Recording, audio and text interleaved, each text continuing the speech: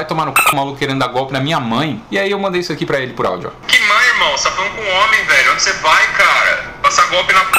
e meu parceiro. O mundo inteiro torcendo pra 2021 ser melhor que 2020 e do nada, bum! Tô careca, mano. Inclusive, você perdeu a chance de me ver raspando a cabeça ao vivo, porque eu raspei a cabeça ao vivo pra quem quisesse ver, ver. Agora eu comecei a fazer algumas streams lá naquele site roxo, tá ligado? De stream, eu não posso falar muito nome, porque senão o, YouTube dá aquela boicotada gostosa. Mas é isso, cara, eu tô fazendo só procurar na, na, no site roxo de stream Gui41 TV. Vocês vão me achar e, mano, eu faço coisas idiotas, que nem raspar a cabeça ao vivo. Aliás, tá aqui o clipe do raspando a cabeça ao vivo. E aí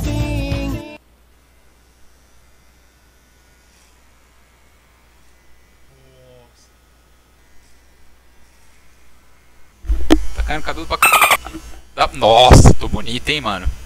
E aí, muito diferente? Muito diferente?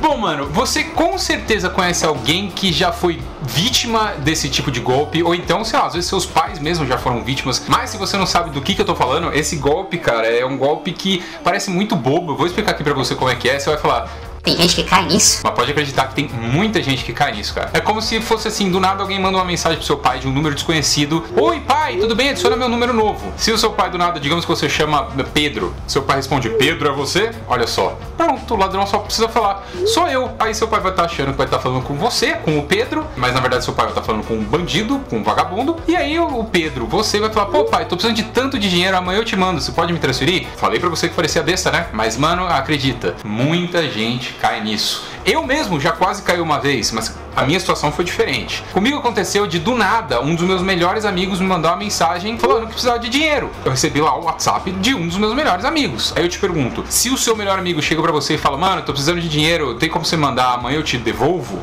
Você não vai mandar. Só que eu dei muita sorte, mano. Que era o seguinte, clonaram o telefone do meu amigo. E aí ele chegou, conversou, começou a conversar comigo e tipo assim, ele tava conversando de um jeito estranho, falando tudo certinho e tal. Só que eu não desconfiei, porque eu pensei assim, mano, se ele tá vindo pedir dinheiro, ele vai querer falar certinho, sei lá, pelo meme, não, não sei. Sei que ele foi lá e me pediu 500 reais. E assim, eu só não caí no golpe porque eu fui meio. Eu não fui com o meu amigo, né? Mas se eu estivesse de fato falando com ele, eu teria sido. porque eu falei, ah, mano, não, tô afim de prestar 500 reais. Vou, vou deixar aí e fingir que eu não li. Daqui uns 40 minutos eu vejo como é que tá. Que aí eu ia dar uns 40 minutos, aí depois eu voltar e falar assim: opa, mano, tava tomando banho ali. E aí, alguém já deu a grana? Mas eu dei a sorte de, nesse tempo, nesse intervalo que eu dei pra responder ele, um outro amigo meu chegou em mim e falou: Gui, mano, se o Fernandinho te mandar mensagem, não responde porque não é ele. Clonaram o telefone dele. Se não fosse esse anjo desse outro amigo meu ter me avisado, eu teria caído no golpe. Com certeza, cara. Mas aí, aconteceu ontem com a minha mãe. Eu estava conversando com ela e de repente chegou uma mensagem de um número estranho, de um número totalmente aleatório. Bom dia, mãe! Tudo bem por aí? Salva meu número novo. E, e, mano, o cara era desesperadaço. Aqui não. Tipo assim, passou 30 segundos, minha mãe não respondeu, é, mandou mais coisa. Oi, mãe! Três pontos de interrogação. E aí minha mãe mostrou isso e falou assim: Gui, estranho, né? E aliás, essa foi a sorte, mano. É, sorte entre aspas. Minha mãe, coitada, ela já levou golpe. Não necessariamente esse, mas ela já foi vítima de golpe. Ela já foi assaltada algumas vezes aqui em São Paulo, então ela tá meio calejada. Ela tem ali o, o faro, tipo, isso aqui não tá certo. E ela falou, Gui, estranho, né? Aí, primeira coisa que eu fiz e que eu recomendo que vocês falem pros seus pais fazerem também. Na mesma hora que eu vi aquilo, eu peguei o meu telefone, liguei pra minha irmã e eu falei, Érica, você tá bem? Aliás, presta bastante atenção no nome da minha irmã.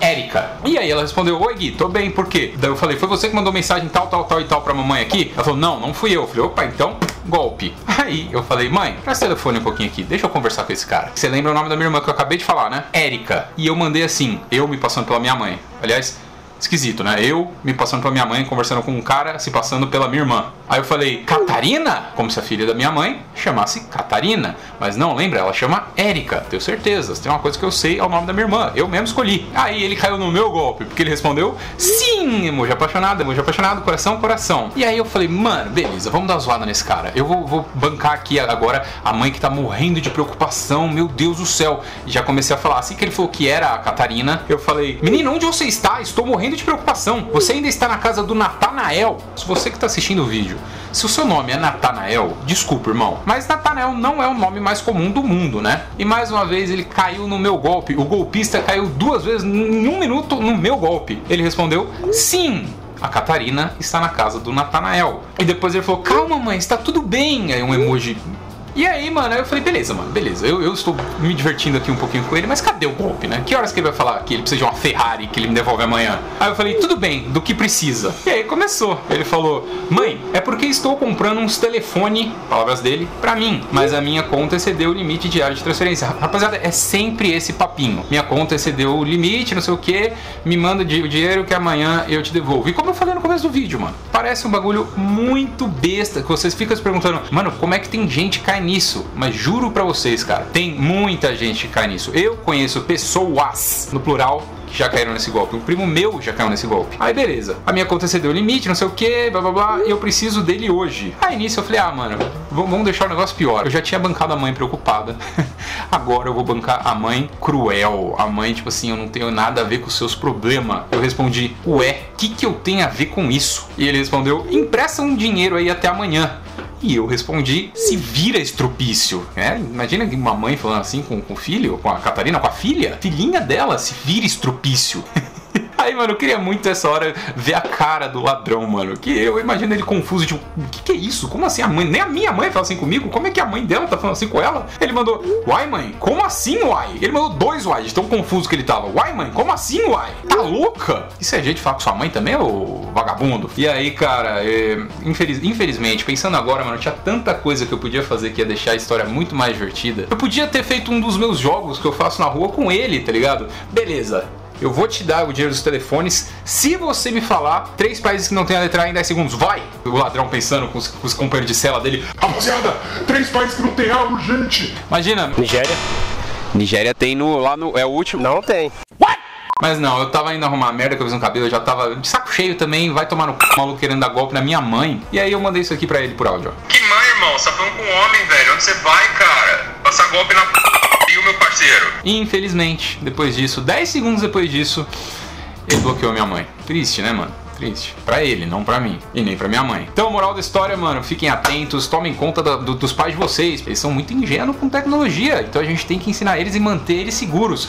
Não deixem os seus pais caírem no golpe do WhatsApp, que eu juro pra vocês, não vou cansar de repetir. Quer ver? Vou até fazer um negócio. Se você conhece alguém que já foi vítima desse golpe, deixa um comentário aqui falando, mano, eu conheço tantas pessoas e moro em tal cidade, tá ligado? Porque eu tenho curiosidade, que eu moro em São Paulo, que é a maior cidade do Brasil, tenho, será que é só aqui, que é uma cidade muito grande e tal? Ou será que acontece em todos os lugares? Tipo, alguém de Rio Branco vai comentar, tá ligado? Pô, eu conheço tal, tal, tal pessoa, não sei o quê. E é isso, rapaziada, videozinho bem diferente aqui, vizinho rápido, só pra comentar isso, que foi tá fresco, mano. Aconteceu hoje cedo, eu falei, mano, eu preciso, eu preciso falar sobre isso. Ainda bem que teve um desfecho, esse aqui teve um desfecho bom. Então, rapaziada, nossa, vou me apresentar no final. Meu nome é Miguel Almeida, se você curtiu o vídeo, por favor, deixa o seu like. A gente se vê muito logo menos. Agora eu estou em todos os lugares, mano. Você pode me achar no Instagram, você pode me achar na, no TikTok, aqui no YouTube, na, na, na Twitch também, tá ligado? Em tudo quanto é lugar, menos o Twitter, que lá, meu Deus, lá é o inferno na Terra.